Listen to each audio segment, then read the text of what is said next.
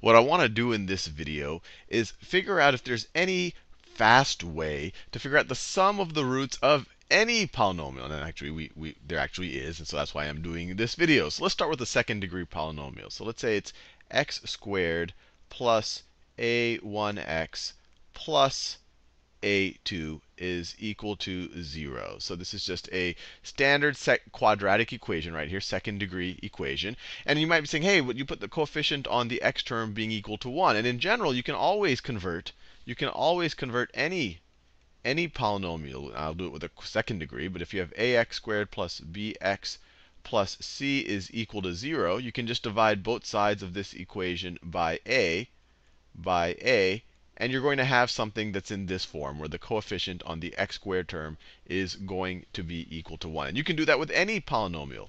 You can do that with any polynomial that's set equal to 0. So with that out of the way, let's think about the sum of the roots of this are going to be. So this is a second degree, this is a second degree polynomial. It's a quadratic equation. So it'll have two roots. They could be real or complex. So let's call the roots r1 and r2. And that tells us, since these are roots, that x minus r1 times x minus r2 is going to be equal to 0. And if we multiply this out, we get x times x is x squared. x times negative r2 is negative r2x. Neg and then we have negative r1 times x, so negative r1x. And then we have negative r1 times negative r2, which is plus r1, r2 is equal to 0. And we can simplify this middle term a little bit. It becomes x squared minus r1 plus r2, r1 plus r2x plus r1, r2 is equal to 0. So let's think about what the sum of the roots are. So based on what we're looking at right over here, what is r1 plus r2?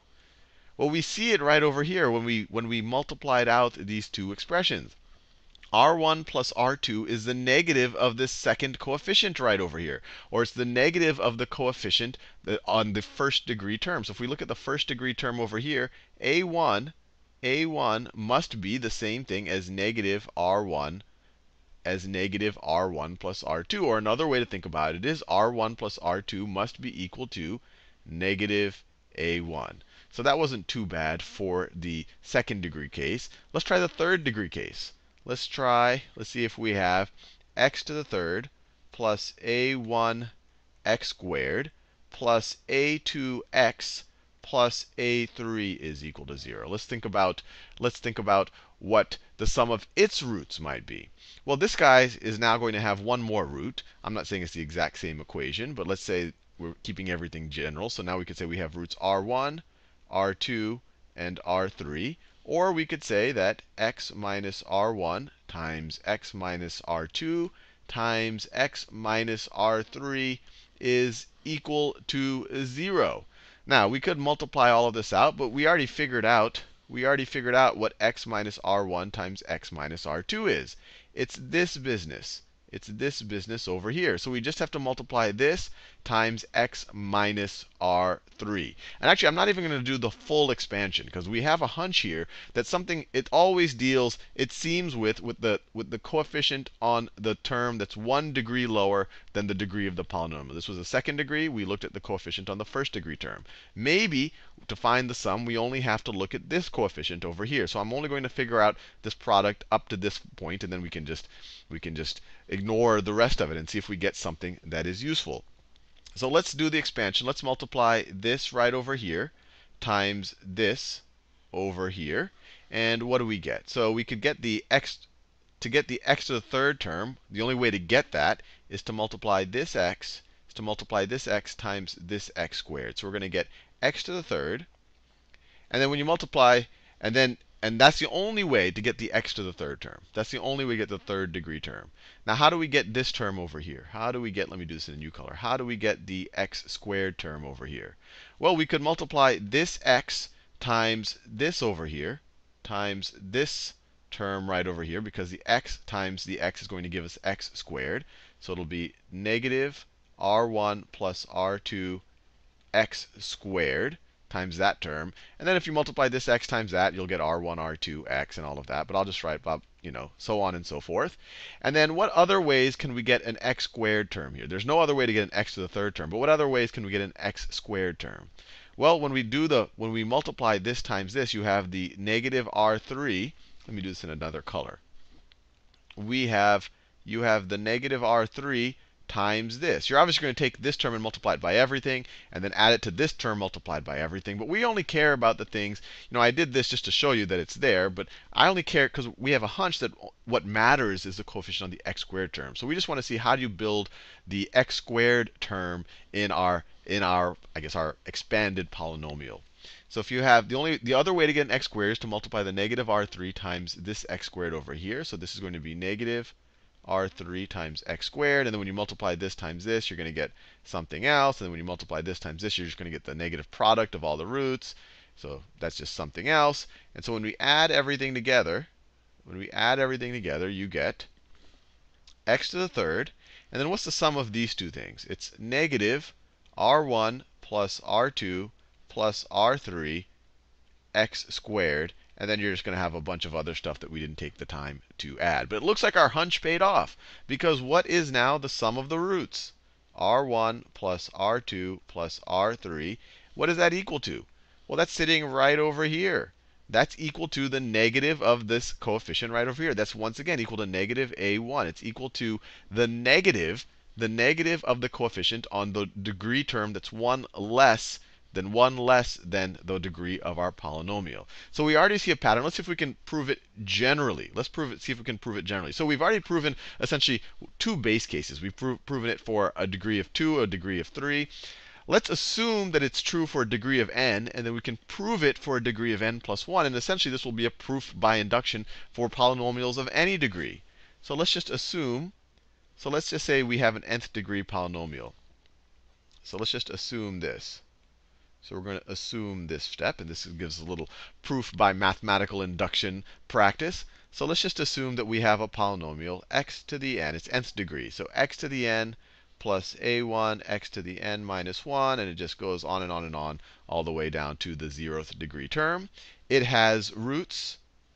It has roots, obviously, r1, r2, all the way to r sub n. And we're going to assume, we're going to assume that r1 plus r2 plus all the way to r sub n is equal to negative a1, is equal to negative a1. Or another way to, to think about it, if we were to multiply, if we were to multiply x minus r1 times x minus r2, and just keep multiplying all the way to x minus r sub n is equal to 0, this should give us x to the n minus r1 plus r2 plus all the way to rn, all the way to rn, x to the n minus 1, and then plus a bunch of other stuff that we're not going to calculate. So this, this tells us this, that this, this coefficient right over here is going to be equal to this right over here. So that is what we are going to assume.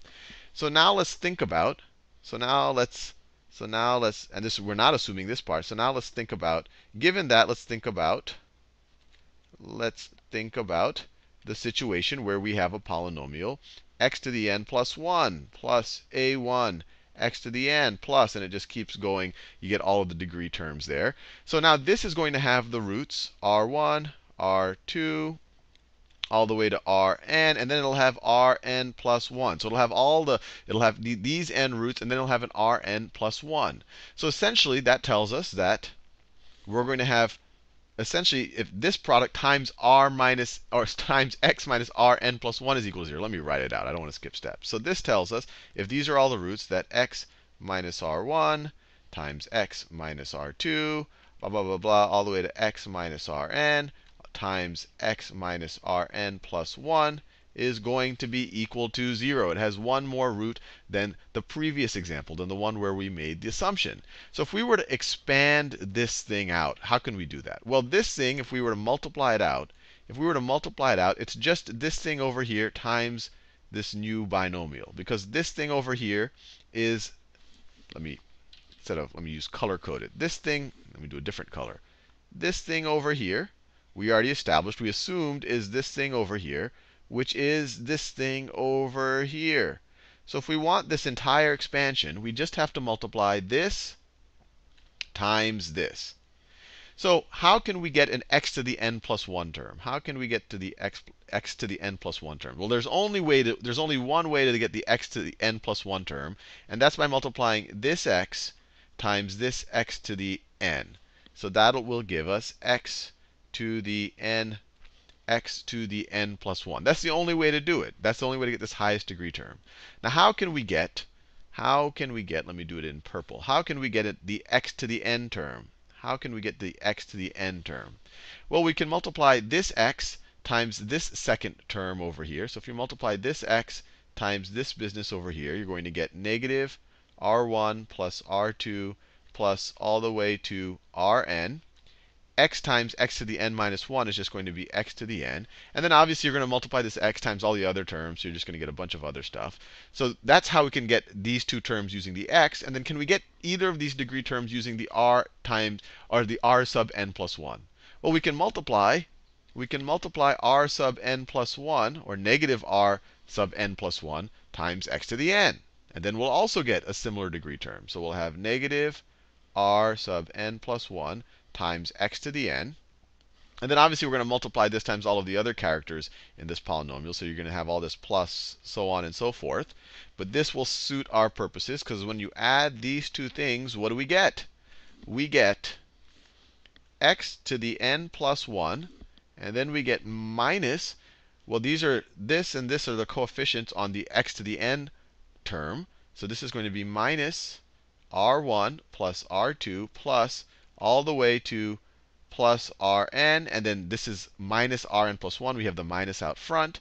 So this is plus R sub n plus 1 x to the n. And then we're going to have a bunch of a bunch of other lower degree terms that don't matter. But we've just proven our case. What is what is R1 r1 plus r2 plus all the way to plus r sub n plus 1. What is this equal to? Well, in our expansion, we have it right over here. That's equal to that over there. That is equal to the negative of this coefficient. It's equal to the negative. It's equal to the negative of a1. And the reason why this works out no matter what, even, you know, you say, hey, if I have complex roots, how does it always end up being a real number? And that's because the imaginary parts cancel out when you take their sum. So let's just apply it. We've proven it. We've proven actually two base cases. We've proven it for uh, a degree 2, for a degree 3, and then we showed that if it's true for any degree n, then it's definitely true for any degree n plus 1. So we know if it's true for degree 3, then it's definitely true for degree 4, which means it's definitely true for degree 5. So uh, when you mathematical induction is kind of this domino proof that it, if it's true for 3, which makes it true for 4, then making assuming it's true for 4 makes it true for 5, and it just keeps going to any n. So in general, if someone gives you a polynomial, let me think of some crazy polynomial. If I were to give you x squared, now let me do it, x to the seventh minus minus pi x to the sixth plus e x to the fifth minus square root of 2 x to the fourth minus, I'll, I will not write out all the terms. So minus 3 is equal to 0. If someone were to give you this polynomial, and they were to say, what do the seven roots of this polynomial add up to?